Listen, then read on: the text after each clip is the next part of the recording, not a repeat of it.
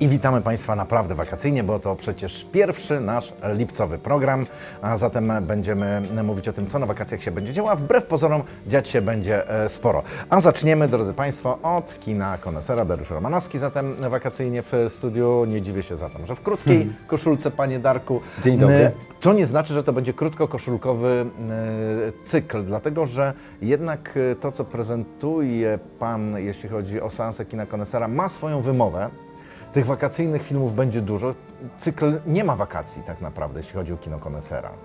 Myślę, że w stałym repertuarze jest tyle rozrywkowego kina, e, że pora także na zatrzymanie się w, mhm. w tym wakacyjnym zgiełku, bieganiu, wypoczynku e, i zastanowieniu się czasami nad bardzo ważnymi sprawami. I takie filmy e, będą królować w repertuarze cyklu Kino Konesera. Wszystkich nie będziemy w stanie Państwu opisać teraz filmowo, ale mamy taką tradycję z Panem Dariuszem, że od czasu do czasu przynajmniej dwa seanse wakacyjne moglibyśmy zapowiedzieć, które z tych filmów by nam Pan wybrał, dlatego że lipiec i sierpień jednak długi, więc będzie okazja na to, żeby sobie przygotować e, te seanse i na nie się wybrać. Szczególnie gorąco chciałbym polecić dwa filmy. Mhm. E, mój sąsiad Adolf. Już sam tytuł brzmi co najmniej dziwnie, a wziąwszy pod uwagę fakt, że to koprodukcja izraelsko-niemiecko-polska, a reżyserem jest urodzony e, w Leningradzie 45-latek, no brzmi co najmniej prowokacyjnie. Tak, zaczyna się bardzo intrygująco. Historia jest niezwykle ciekawa. E, dzieje się po wojnie, Dokładnie, aczkolwiek Dokładnie 15 lat po wojnie w dalekiej Kolumbii, w wiosce zapomnianej przez ludzi i Boga, w pewnym domu mieszka mm, mężczyzna, starszy pan, ocalony z Holokaustu, o dosyć swojsko brzmiącym nazwisku Mark Polski. E, nie wiem, czy to też nie jest taki, że tak powiem, scenariuszowo-filmowy wtręcik leciutki sygnał, dlaczego to nazwisko jest takie, a nie inne. Mm, dokładnie. Mm, nie chcąc zdradzać zbyt e, wiele z fabuły, powiem tylko tyle, że gdy najbliższym sąsiadem, zajmującym e, dom obok naszego głównego bohatera, staje się tajemniczy człowiek z gęstą brodą w ciemnych okularach, ale nasz, mający coś w oczach. Ale mający właśnie coś w oczach. I te oczy sprawią, że nasz e, Mark Polski zacznie podejrzewać, że pod tą tożsamością ukrywa się nie kto inny, tylko twórca nazizmu, Adolf Hitler. I wydawać by się mogło, że e, nawet w dzisiejszych czasach żartowanie e, z nazizmu, z no Holokaustu, no posługiwanie się nazwiskiem Hitlera, no to jest balansowanie na granicy dobrego smaku. Proszę się nie martwić. Proszę się nie martwić, to jest naprawdę bardzo inteligentne, mądrze skonstruowane kino, e, operujące świetnym poczuciem humoru czarnym jak smoła, muszę przyznać, ale to jest naprawdę inteligentny humor.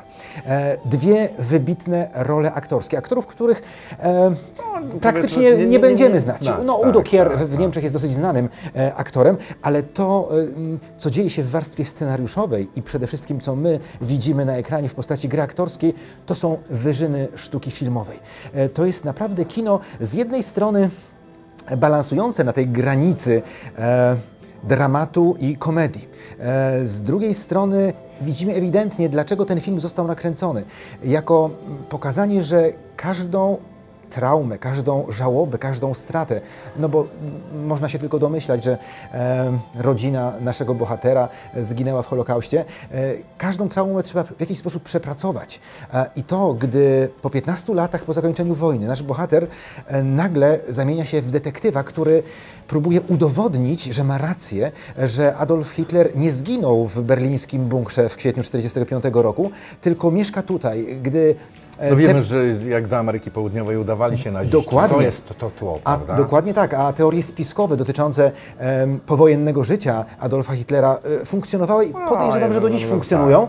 Um, reżyser i scenarzysta e, postanowili pokazać, że takie podejrzenia mogą prowadzić do czegoś zupełnie innego, do męskiej przyjaźni. E, nic więcej nie powiem, bo nie chcę nie, odbierać tak, tak naprawdę tak ogromnej przyjemności z obejrzenia tego niezwykle inteligentnego filmu. To chcę bardzo wyraźnie podkreślić. Zabawny, inteligentny, e, mądry. E, takiego kina mhm. życzyłbym sobie więcej na naszych ekranach. I jest jeszcze tam jeden symbol, białe i czarne, czyli szachy, które będą odgrywały też Bardzo ważną rolę. ważną rolę, ale też, tak jak pan Darek powiedział, absolutnie nie będziemy Państwu nic więcej mówić, jeśli chodzi o ten e, obraz. Czyli zaczęło się smakowicie. Podał Pan nam wakacyjną zupę, która prawie przerodziła się w danie główne. No to teraz danie główne połączmy jeszcze z deserem. Oj, a deser będzie w stylu brytyjskim. O. E, Proponuję e, film zatytułowany Niezwykła wędrówka Harolda Fry. E, To jest z kolei typowy dramat. E, Dramat, który, którego początek wygląda niepozornie. E, Starszy pan, mieszkaniec jednego z angielskich miasteczek, pewnego dnia mm, dowiaduje się, że jego mm, dawno, bardzo dawno niewidziana przyjaciółka E, ciężko choruje. E, przebywa w hospicjum, jest śmiertelnie chora e, i on, przypadkowo natchniony przez młodą dziewczynę, postanawia dać jej, tej swojej przyjaciółce, dać jej nadzieję.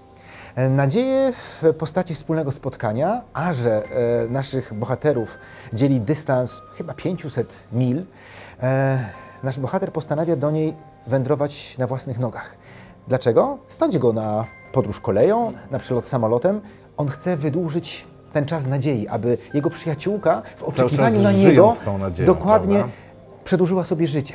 Y, Już sam pomysł e, wydaje się piękny, ale jego realizacja, gdy on wędruje przez całą niemal Anglię na własnych nogach, a jest, tak jak powiedziałem, starszym panem, który praktycznie niczego w życiu nie osiągnął. Żył bez celu ze swoją żoną e, z dnia na dzień. Życie, jakie prowadzą tysiące e, mieszkańców, nie tylko Wielkiej Brytanii. I nagle znajduje, znajduje swój życiowy cel, któremu poświęca się całkowicie. Co z tego wyniknie, czy zdąży na czas spotkać się z przyjaciółką, tego oczywiście nie powiem. To jest e, świetne, znowu bardzo mądre kino. I E, świetnie zagrane. Bo świetnie znowu, zagrane, tak, znowu bo jest nieprawdopodobna rola. w roli głównej, tytułowej Harolda Fry wystąpił jeden no, z niezwykłych brytyjskich aktorów. Z najwszechstronniejszych, ale też najbardziej lubianych przez widzów, myślę już w całej Europie, bo jego kariera to nie tylko Wielka Brytania, to już kino europejskie, czasem także amerykańskie. Mógłbym jak z rękawa teraz sypać, to sypać rolami, rolami, tak, dokładnie. oczywiście. E, Ostatnie Natomiast dziesięciolecie to można byłoby tak, dokładnie. kart. I za każdym razem rola tego aktora, o Jimie Broadbencie oczywiście mówimy, jest inna. E, każdy zna tę twarz. Może teraz w tym momencie nie kojarzy e, wypowiadanego przeze mnie nazwiska, natomiast twarz jest bardzo rozpoznawalna. To jest aktor wybitny. Bardzo gorąco ten film e, polecam. Warto, warto, jeszcze raz warto. Symbolicznie powiem Państwu książę, żeby nawiązać do... Notabene, prawda? chyba Do- rok do- temu, do- do- przed wakacjami rozmawialiśmy o tym filmie, który zagościł na polskich ekranach. E, Panie Właśnie w Darku, to na koniec sezonie. jeszcze waka- y, znaczy na początek wakacji, a na koniec naszego programu y, nie odpuszczę, bo chciałbym, żeby na wakacje też nasi widzowie zasiedli też między innymi w fotelach podczas seansów kina Konesera, to dajmy też im szansę i zadajmy pytanie konkursowe tradycyjnie, żeby mógł ktoś z Państwa chociażby na któryś z wybranych seansów, o których Pan opowiadał, się wybrać. Skoro wspomniałem nazwisko wielkiego brytyjskiego aktora Jima Broadbenta, e, jego kariery będzie dotyczyć to pytanie. 21 lat temu zdobył jedynego jak dotąd Oscara za drugoplanową rolę męską. Partnerował wtedy na ekranie wielkiej Judy Dench. Proszę podać tytuł filmu, znakomitego filmu, w którym, za który Jim Broadbent zdobył swojego Oscara. No to drodzy Państwo, do dzieła, proszę bardzo, czas na seans, małpa, czas na opole.pl. Czekamy na Państwa prawidłowe odpowiedzi. Dwie pierwsze, jak zwykle, uhonorujemy e, wejściówkami, nagrodami ufundowanymi przez sieć kin e, Helios i przypominamy jedno, kiedy na wakacjach będą odbywały się seanse kina Konesera, żeby nikt nie miał wątpliwości, kiedy na który się seans wybrać, Panie Darku. W sensie mówię o dniu i o godzinie. Tak, oczywiście. Termin, godzina się nie zmienia, czyli każdy poniedziałek godzina 18 i tu prośba do naszych widzów, aby nie spóźniali się na seanse. Przypominam, że w cyklu Kino Konesera nie gramy reklam. Zaledwie dwa, czasem trzy zwiastuny nadchodzącego repertuaru e, Kina Konesera, ale proszę się nie spóźnić, nie warto przegapić ani jednej minuty filmów, e, o których dzisiaj rozmawialiśmy. Do czego Państwa serdecznie zachęcamy, a robił to przede wszystkim Pan Dariusz Romanowski. Dziękuję bardzo. Dziękuję pięknie. Prelegent tego cyklu, a my zapraszamy Państwa na kolejne wakacyjne filmowe spotkania.